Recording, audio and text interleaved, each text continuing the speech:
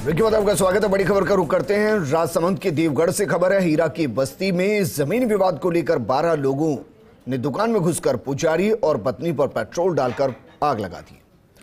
पुजारी दंपति को नब्बे फ़ीसदी हालत में जलने के बाद अस्पताल में भर्ती कराया गया। आरोपी मौके से फरार हो गया। पुलिस और प्रशासन के अधिकारियों ने मौके पर पहुंचकर जानकारी जुटाई। उधर पीड़ित पक्ष का आरोप के मामले को लेकर कई बार देवगढ़ थाने में रिपोर्ट दी गई, लेकिन कोई कार्रवाई नहीं की गई।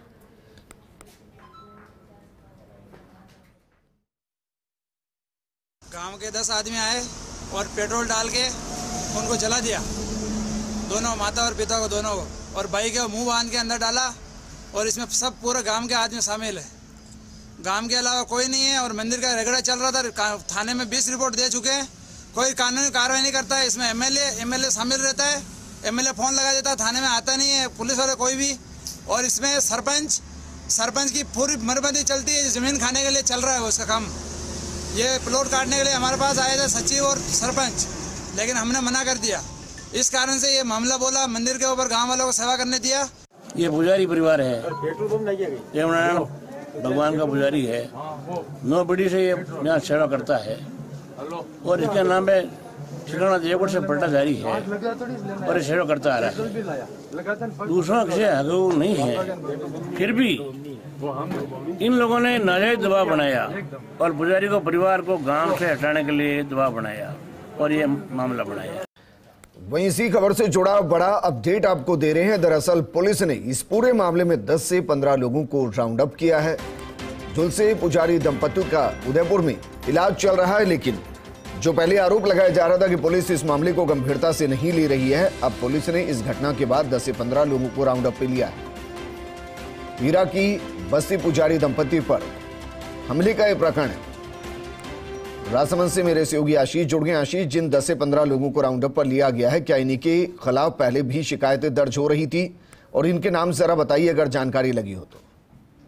जी, विजेंद्र, मैं बता दूँ, ये मामला पहले का है। हालाँकि ये नया, नई घटना नहीं है। इससे पहले भी कई बार ये जो कुछ गाँव के जो लोग हैं, मंदिर के जो ज़मीन है, बेशकीमती ज़मीन है उन पर इनकी नज़र थी, जिसको लेकर कई बार पुजारी दंपति और उनके परिवार को धमकाया भी जाता था, जिसको लेकर पुजारी दंपति ने देवगढ़ थाने में शिकायत भी की थी।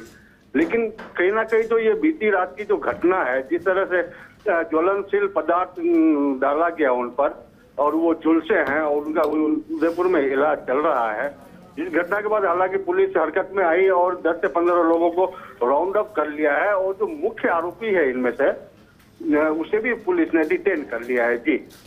अजी जानकारी लग पाई मुख्य आरोपी कौन है और क्या मकसद सिर्फ़ मंदिर ज़मीन को हड़पना था या कुछ और? मुख्य आरोपी का नाम अभी तक सामने नहीं आया है। विजेंद्र हालाँकि पुलिस ने डिटेन कर लिया हो सकता है अभी दिन तक आरोपियों की गिरफ्तारी शो करे पुलिस।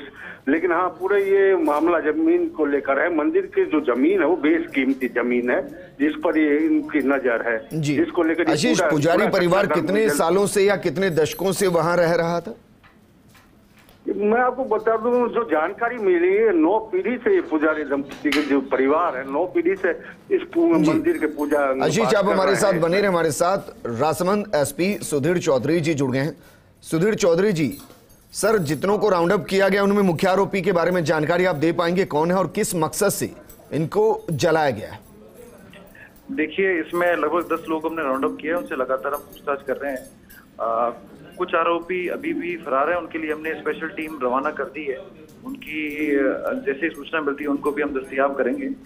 इस प्रकरण के अंदर जो जो भी आरोपी हैं उन सबको हमने नामजद कर लिया है आइडेंटिफाई कर लिया है। जी। सबको हम अरेस्ट करेंगे। सुधीर जी पीड़ित पक्ष का आरोप है कि मामले को लेकर कई बार देवगढ़ थाने में रिपोर्ट दी गई लेकिन कोई कार्रवाई नहीं की गई। देखिए इसको लेकर के सिविल कोर्ट देवगढ़ के अंदर ऑलरेडी मैटर चल रहा था।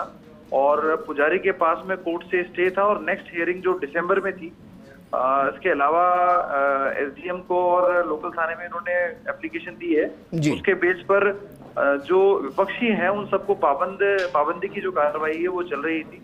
परंतु इस तरह की घटित घटना इन्होंने अंजाम दी है। जैसे ही ये घटना हमारी जानकारी में आई तुरंत प्रभाव से पुलिस ने दस लोगों को अभी हिरासत में लिया है। और भी जो आरोपी हैं उनको हम सख्त से सख्त कार्रवाई हम करेंगे उनको अरेस्ट भी करेंगे। जी। और उसके अलावा पीड़ित का इलाज के लिए भी हम लोग विशेष प्रयास कर रहे हैं। पीड़ित के बयान भी हमने ले लिए हैं और मजिस्ट्रेट से बयान के लिए भी तहरीर पुलिस दे रही है। प्रकरण को हम स्ट्रांग बना करके स्ट्रांग कार्रवाई करेंगे और इसमें जो भी कानूनी रूप से सही होगा वो हम करेंगे। सर 90 फ़ीसदी के आसपास झुलसा है शरीर। आपके पास जानकारी क्या है? क्योंकि 90 फ़ीसदी झुलसने का मतलब ये है कि उनको मारने के इरादे से ही ये। घटना की गई। देखिए इसमें बिल्कुल सही कह रहे हैं अटेम्प्ट टू मर्डर का हमने धारा लगाई है इसके अंदर और जो भी आरोपी हैं उनके खिलाफ सख्त से सख्त कार्रवाई करेंगे। अभी हम मजिस्ट्रेट से बयान पीड़ित का लेंगे और उसमें और भी अगर किसी व्यक्ति का नाम आएगा उसको भी हम अरेस्ट करेंगे।